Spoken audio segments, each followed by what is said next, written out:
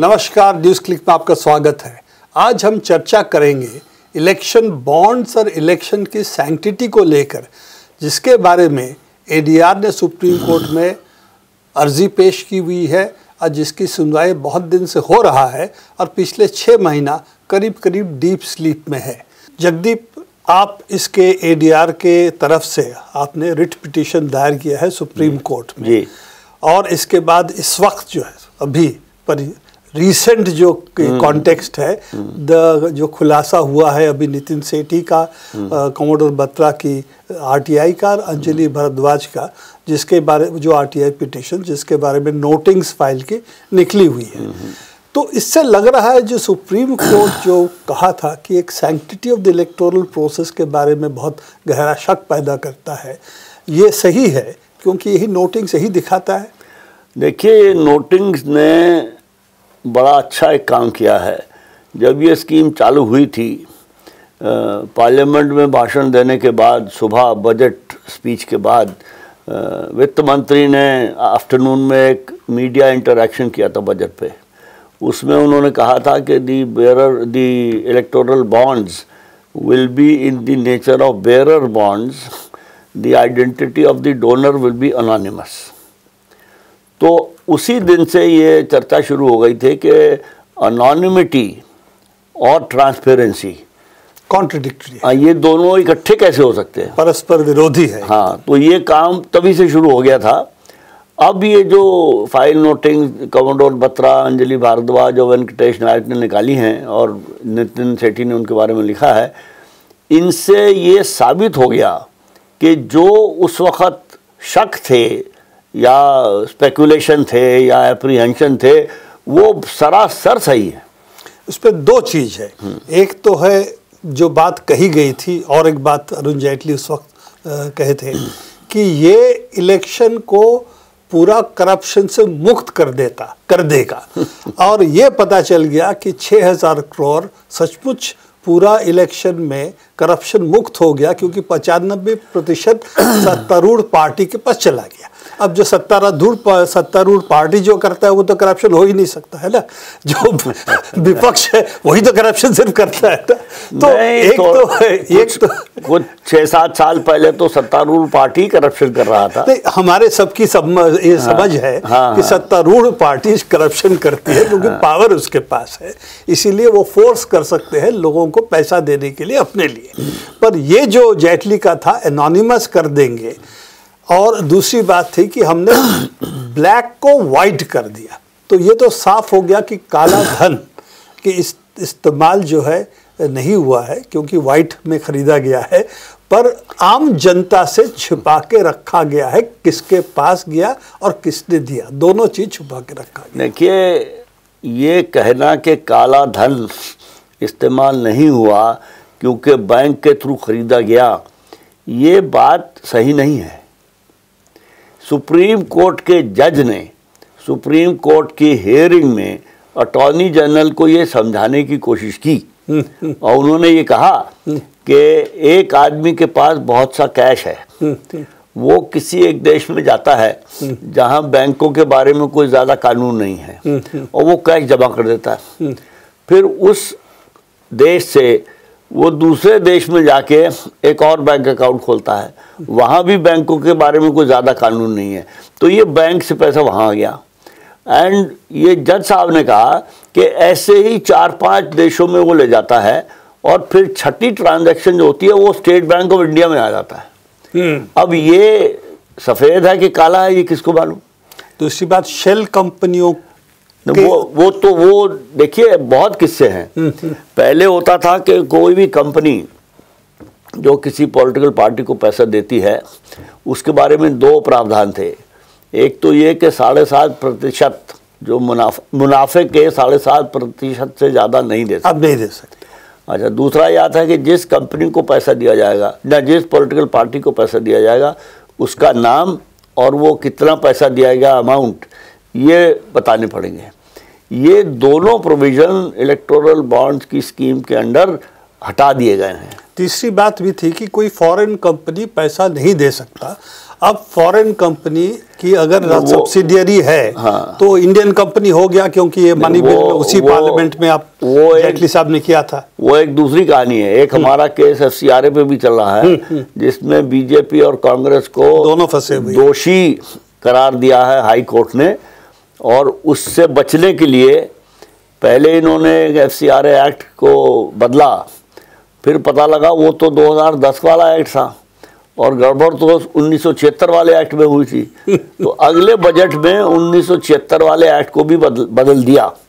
अब सवाल ये है कि 1976 तो वाला वो भी मनी बिल के ज़रिए किया। ना नहीं बट 1976 वाला एक्ट 2010 में खत्म हो गया था।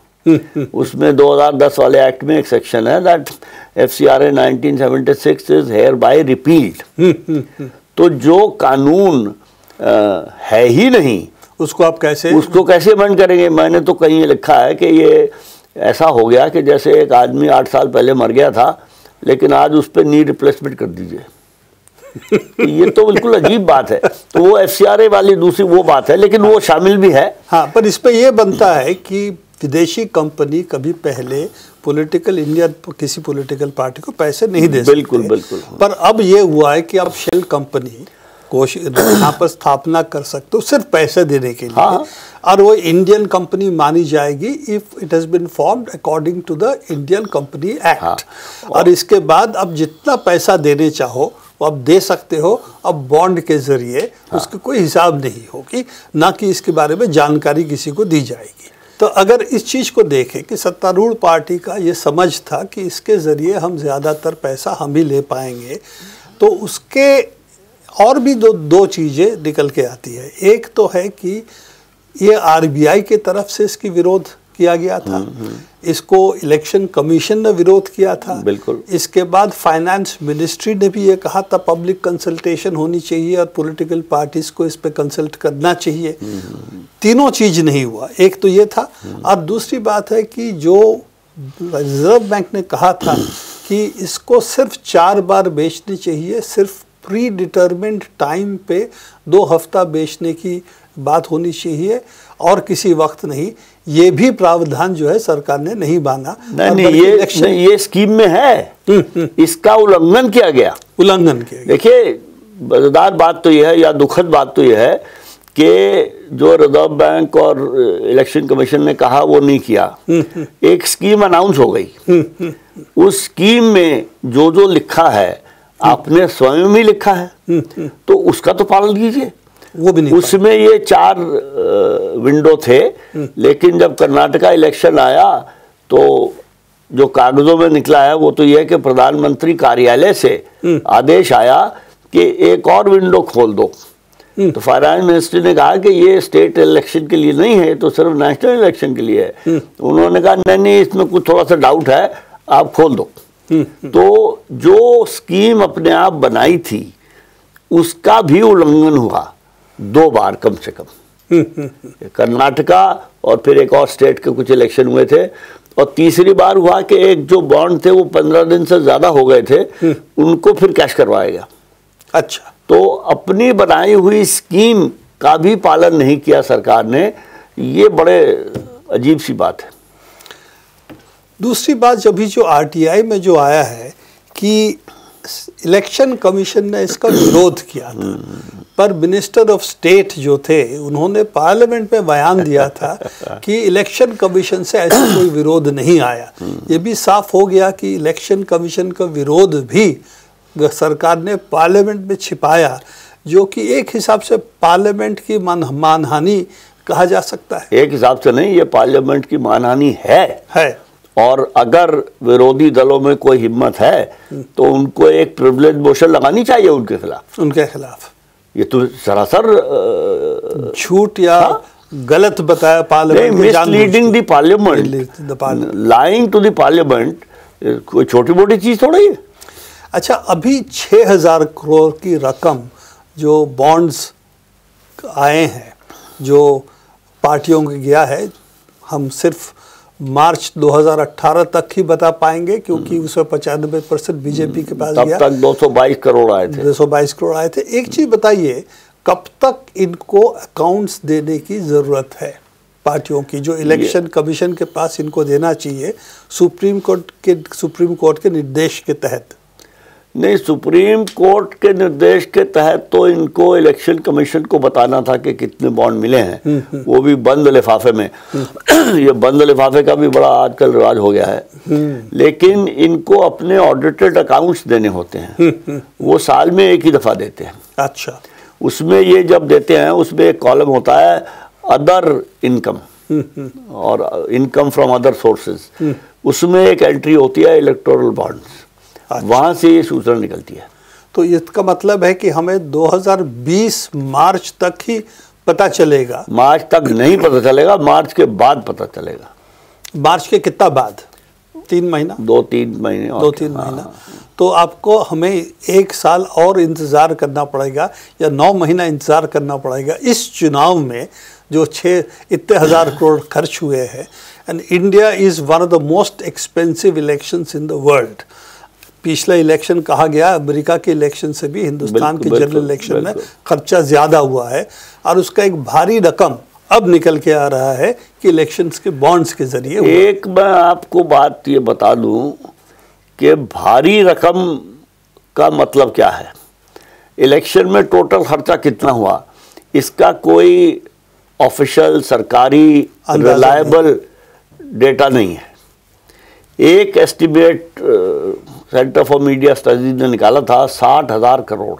साठ हज़ार में छह हज़ार तो दस प्रतिशत ही हुआ। हाँ दस लेकिन लेकिन इससे ये पता लगता है कि कितना बे इंतहा पैसा और चलो भाई अगर ये भी मान लें कि इलेक्ट्रोल बॉन्ड में काला धन नहीं आता अरे भैया जो बाकी चौवन करोड़ चौवन हज़ार करोड़ है वो कहाँ से आया? तो इलेक्शन में खर्चा बे इंतहा होता है। और गलत चीज़ों पर खर्चा और वो खर्चा क्यों होता है? कि जो इलेक्शन में चुनाव प्रचार करने के लिए जो तरीके हैं जो जिनके करने की इजाज़त है उनका पैसा तो अकाउंट में दिखा देते हैं। लेकिन इलेक्शन तो जीते जाते हैं उन कामों पे जो कानूनी इजाज़त ही नहीं है। हाँ, बट इस, इस चीज़ को अगर देखें छः हज़ार करोड़ जो पॉलिटिकल पार्टी ऑफिशियली खर्चा कर सकती है वो एकाएक ये इलेक्शन बॉन्ड उसमें जा रहा है this is what the political party can officially spend क्योंकि वो छह हज़ार करोड़ इनकम उनके पास least that much they they're getting from election they may not spend that they may keep it just just for Achha. the argument's sake let's take that hmm. officially 6000 crores income unofficial चीज़ तो छोड़ देते हैं वो तो हर स्तर पे होता है और ये भी है कि हर पार्टी अलग अलग तरीके से करते हैं। कुछ कहेंगे कि हम चंदा लोगों से इकट्ठा करके उनसे करवाते हैं। कुछ कहेंगे कि हमारे बड़े दोस्त मित्र हैं वो खर्च कर देते हैं हमारे लिए। ये सब चीज़ें छोड़ देते हैं। ये कॉरपोरेट कैपिटल आ रही है। छः हज़ार करोड़ की इन्वेस्टमेंट एक है हाँ, हाँ। तो पॉलिटिकल पार्टीज़ पे के लिए आ रही है। और ख़ास तौर से सत्तारूढ़ दल के लिए। हम्म। तो उसके कैपिटलिस्ट जब खर्च करता उसके कुछ रिटर्न्स ऑन कैपिटल भी होता है। बिल्कुल। तो रिटर्न्स ऑन कैपिटल क्या क्या देख सकते हैं? रिटर्न ऑन कैपिटल जो है वो लाइसेंस के थ्रू मिलता है। और अब तो साल बहुत सारी चीज़ लाइसेंस लाइसेंस परमिट राज तो खैर खत्म हो गया था कहते हैं। लेकिन अभी भी है। उसके अलावा जो रिटर्न ऑन इन्वेस्टमेंट होता है कि किसी कानून में छोटा सा तब्दीली कर दी। अब ये टेलीकॉम इंडस्ट्री का किस्सा चल रहा है। हम्म। ये सुना है कि कोई कॉल ट्रांसफ़र चार्ज या कुछ होते थे हम्म। वो आठ पैसे से तीन पैसे कर दिए। हम्म, उसमें एक के तो पवारे हो गए और दो बिल्कुल बैठ गए। बैठ गए। तो ये जो छोटे छोटे कानून में बदलाव हैं इनके फाइनेंशियल असर बहुत ज़्यादा पड़ता है। और इनका पता ही लगता जब ये होता है कि ज़रा सी बात की लेकिन असर उसका बहुत है तो इस तरह के काम फिर सरकार करती है। तो और दो तरह के काम आपको बताना चाहता हूँ पूछना चाहता हूँ। एक तो है जैसे आज कहते हैं कि ईडी हम्म, हम्म, हम्म, इसको अब किसी ने कहा एक सीबीआई की वरिष्ठ अधिकारी ने ही कहा कि ये एक्सटॉर्शन डायरेक्टरेट बन गया है। तो आप पर केसेस की हाँ, हाँ, छानबीन हो सकती है हाँ, और इसके लिए पे पैसे हो सकते हैं। तो एक तो ये होता क्विट प्रो को जो कहते हैं। हम्म, हम्म। और दूसरी बात लोन्स अब तो एनपीएस बहुत बढ़ गए हैं। तो एक चीज़ तो ये है कि स्टेट बैंक से लेकर दूसरे सरकारी बैंक है उनके पैसे बहुत सारे निजी कंपनियों में लगा हुआ है। तो उसका भी एक बहुत बड़ा असर हो सकता है कि आपने रिटर्न ऑन कैपिटल के रूप में लोन्स इनको दिलाएँ लोन्स दिलाने की भी एक बड़ी लंबी कहानी है हम्म। कि ये एनपीए कैसे बनते हैं मेरा ये मानना है कि जो सरकारी बैंक हैं बड़े बड़े बैंक हैं बहुत बड़े बड़े बैंक हैं उनके जो general manager chairman managing director जो लगते हैं वो कोई बेवकूफ़ तो नहीं होते हमारे जैसे। वो बड़े पुराने बैंकर होते हैं तजर्बेकार समझदार बड़ा इंटेलिजेंट तो मैं ये सोच रहा था कि उनको ये उन्होंने ऐसे गलत लोन क्यों दे दिए? तो गलत लोन देने के दो ही कारण हो सकते हैं। एक तो कि मैनेजमेंट ने गलती की। दूसरा ये कि उसके ऊपर कुछ ऐसा ऐसा दबाव आया कि उसको ये गलत लोन देना पड़ा। तो ये दो तरीके हो गए। पहला तरीका यह है कि अगर मैनेजमेंट ने गलती की और मैनेजमेंट इनकॉम्पिटेंट है तो उसको लगाता कौन है? सरकार लगाती है, राजनीतिज्ञ लगाते हैं। तो ऐसे नाकाबिल लोगों को ऐसी पोजीशन पर लगाना, इसका जिम्मेदार भी सरकार और पॉलिटिकल पार्टियाँ हैं। और अगर प्रेशर डाल के किसी को दिलवाए तो तो वो ज़ाहिर है। तो जब ये किस्सा शुरू में रघुराम राजन के टाइम पे शुरू हुआ था तो मैंने इंडियन एक्सप्रेस में शायद एक लेख लिखा था कि अगर सरकार चाहे तो जो बैंकों के सीनियर मैनेजमेंट के लोग हैं उनसे पूछे कि भाई तुमने ये क्यों किया? और उनसे पूछे आ, ऐसी सिचुएशन में कि उनको ये यकीन हो जाए कि नहीं बताएँगे तो वो जेल जाएँगे। उस हालत में वो बताएँगे। और वो फिर यही बताएँगे कि फलाने राजनीतिज्ञ ने कहा फलाने ने कहा। इसलिए वो इन्वेस्टिगेशन कोई करता ही नहीं है। तो सर जनता का पैसा जो है वो इस तरीके से पूंजीपतियों के पास जा रहा है। ये बिल्कुल सही है। ये भी एक क्विड प्रो कोई है कि आप ये करते रहिए तो ये जनता का पैसा तो चलता रहेगा। बॉन्ड्स हम आपको दे देंगे हम इतना लोन दिलवा दीजिए। This can also be a part of नहीं नहीं बिल्कुल ये जो हुआ था कि जो बॉन्ड एक्सपायर हो गए थे इनको कैश करने के लिए क्यों आदेश मिला? कुछ इस कुछ इसके को भी होगा। नहीं इसके पीछे एक मिस्ट्री तो है। वो क्या है ये तो वही बता पाएँगे। वक्त बताएगा। लास्ट सवाल आपका ये है इलेक्शन बॉन्ड्स में अभी जो आया कि 6000 करोड़ की रकम कलेक्ट की गई है। हम्म। किसके पास गई है? अभी तक साफ़ नहीं है बट कलेक्ट की गई है। हम्म, हम्म, तो इसका अगला अभी आरटीआई के तहत ये भी साफ़ हो गया कि इसका विरोध सरकारी डिपार्टमेंट्स रेगुलेटरी कमीशन दो रेगुलेटरी कमीशन इन्वॉल्व है क्योंकि RBI is a regulator financial regulator CEC is the electoral regulator these are the two जो दो बॉडी है जो इस रेगुलेटरी के कमीशन होने के नाते इस पे इन्वॉल्व है। तो इसके बारे में अब सुप्रीम कोर्ट में अगला कदम आपका क्या होगा? सुप्रीम कोर्ट में हमारा अगला कदम है। हम सुप्रीम कोर्ट में एप्लीकेशन फ़ाइल करेंगे। ये जो नया सूचना सामने आई है, इसको लेके कि ये पता लगा है। इससे ये प्रूव होता है कि ये स्कीम जो है, ना सिर्फ़ ये ख़तरनाक है और ओपेक है, बिल्कुल ही पता नहीं लगेगा किसी को। ये सरकार को पता था कि ये है, उन्होंने ये जानते हुए ये किया। तो हमारी तो डिमांड सुप्रीम कोर्ट से ये है कि ये इलेक्ट्रोल बॉन्ड स्कीम को स्टे करें। रोक दे और फिर चर्चा हो फिर वो अपना फाइनल फैसला करे। लेकिन जब तक फाइनल फैसला नहीं होता ये धांधलेबाजी चालू नहीं रहनी चाहिए। ये ग्राउंड अभी स्टैब्लिश्ड है कि इसमें धांधले हुए हैं आपके कहने के बिल्कुल है बिल्कुल है तो जरा सा ज़ाहिर और, और इसके तहत ये स्कीम आगे नहीं चलना चाहिए हाँ। क्योंकि जो जो संदेह था स्कीम के बारे में वो सही निकला। बिल्कुल। तो वो हमारी सुप्रीम कोर्ट से तो यही मांग है कि इस स्कीम को आप रोकिए और फिर आगे देखिए। तो सात और सुप्रीम कोर्ट ने ये कहा अपने इंटरम ऑर्डर में 12 अप्रैल को कि this petition raises weighty issues यानी बड़ी वजनदार मुद्दे इस केस में हैं which have implication for the entire electoral system of the country ऐसे भारी भरकम मुद्दे हैं कि देश के पूरे चुनावी जो कार्य कार्यवाही है उस पर बहुत गंभीर असर पड़ता है। तो गंभीर असर पड़ने के बावजूद अभी तक सुप्रीम कोर्ट इसकी आ, आगे कोई सुनवाई नहीं की। अभी तक नहीं की और गंभीर असर पड़ रहा है। दिख रहा है हाँ। उसके बाद जनरल इलेक्शन इसके बाद ही हुए। हाँ हाँ। तो सुप्रीम कोर्ट के बारे में कुछ कहना ज़रा ठीक नहीं है लेकिन उनको इस पर ध्यान देना चाहिए। क्योंकि नहीं ध्यान देंगे तो, तो चलेगा यही चलेगा नहीं ध्यान देंगे तो ये होगा कि जो पूंजीपति लोग हैं वो सरकार को पूरी तरह कंट्रोल करेंगे।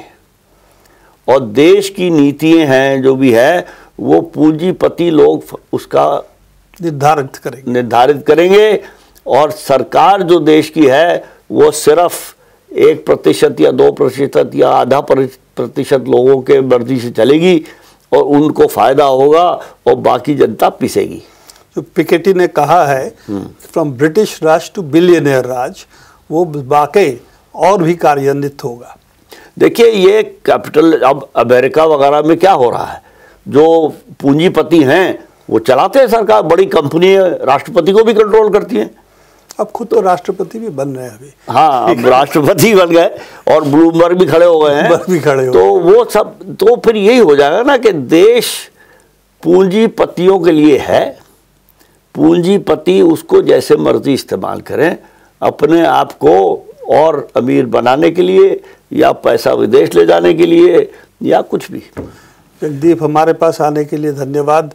हम आशा करेंगे कि एडीआर की ये जो कार्रवाई है कोर्ट में ये आगे चले और सफल हो और हमारी कम से कम इलेक्टोरल प्रोसेस की पैसे जो खर्च हो रहे हैं उस पर कुछ लगाम हो। धन्यवाद हमारे साथ होने के लिए। धन्यवाद मुझे बुलाने का। आज न्यूज़ क्लिक पे इतना ही। देखते रहिएगा न्यूज़ क्लिक